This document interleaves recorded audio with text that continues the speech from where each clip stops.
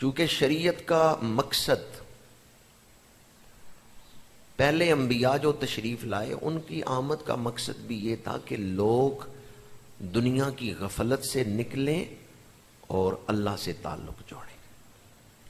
तमाम अंबिया की आमद का ये मकसद है। कुछ चीज़ें ऐसी हैं जो तमाम नबियों में दावत के एतबार से मुश्तरक है। सबकी दावत में वो चीज़ पाई जाती है। तो रोजा भी उन्हीं चीज़ों में से है। क्योंकि रोजा गफलत से निकाल के बंदे का ताल्लुक रब से जोड़ता है। इसलिए पहले अंबिया किराम, उनकी उम्मतों पर भी रोज़े फ़र्ज़ किए गए। सबसे पहले रोजा रखा है तो हज़रत आदम सलाम ने रोजा रखा। हज़रत नू सलाम के बारे में तफसीरों में आया है कि जब तूफ़ान नू आया, हर तरफ़ पानी पानी है। तो आप जानते हैं कि हज़रत नू ने अपने कलमा गो को कश्ती में जमा कर लिया था और आपकी कश्ती नहीं डूबी। तूफ़ान है, शदीद तेज हवाएँ चल रही हैं, पानी ही पानी है और आपके मानने वाले कश्ती के अंदर हैं।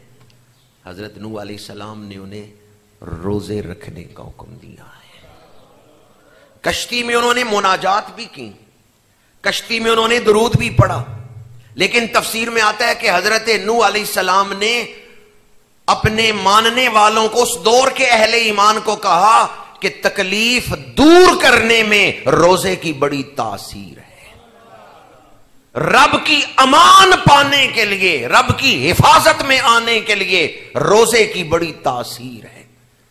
तो कश्ती नूह में जो लोग थे, वो रोज़े रख रहे क्योंकि रोजा रब की अमान पाने के लिए बड़ा मुजर्रब वजीफा है। हालाँकि मुनाजात करना, दुआएँ मांगना इस्तफार करना, इसकी भी अपने मकाम पर बड़ी फजीलत है और कश्ती में वो लोग ये काम भी करते रहे। लेकिन जब पहले दिन कश्ती चली थी, हज़रत नू सलाम ने ताकीद की कि सब हम रोज़े से दिन गुजारेंगे इससे पता चलता है रोजा तकलीफ़ दूर करने में बड़ी तासीर रखता है। फिर हज़रत दाऊद सलाम का रोजा बड़ा मशहूर है, सोमे दाऊदी। आप एक दिन रोजा रखते थे, एक दिन इफ्तारी करते थे। साल में, पूरा साल आपका ये मामू रहता था। तीन सौ पैंसठ दिन है, एक दिन रोज़ा, एक दिन इफ्तारी, एक दिन रोज़ा, एक दिन इफ्तारी। ये हज़रत दाऊद सलाम का मामूल था।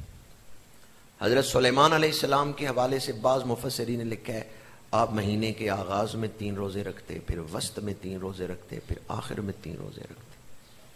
हज़रत मूसा सलाम ने अल्लाह की बारगाह में अर्ज़ किया, परवरदिगार, मैंने उम्मत अहमद की बड़ी फजीलत सुनी है। तेरे महबूब की उम्मत को जो शाने मिली हैं तो उनमें खसाइस क्या हैं?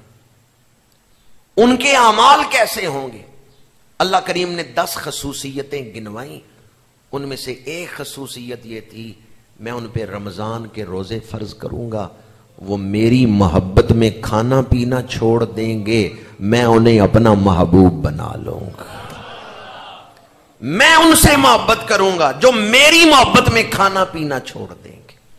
हज़रत मूसा सलाम से अल्लाह करीम ने इस उम्मत की फजीलत बयान करते हुए जो दस खसाइश बयान किए, उनमें एक खासियत यह थी कि इस उम्मत के रोजेदार मेरी मोहब्बत में खाना पीना छोड़ देंगे, मैं उनसे मोहब्बत करूँगा, मैं उन्हें अपना महबूब बना लूँगा। हज़रत ईसा सलाम आप मुसलसल रोज़े रखते थे। पहली उम्मतों पर भी, ये तो मैंने नबियों का ज़िक्र किया है, पहली उम्मतों पर भी रोज़े फ़र्ज़ थे। और उनके रोज़े तादाद में बाज उम्मतों के हमसे ज़्यादा थे, बाज के दो महीनों के रोज़े थे, बाज के रोज़े मुख्तलिफ़ अयाम में थे। मसलन दस मुहर्रम का रोज़ा, वो फ़र्ज़ था बनी इसराइल पे।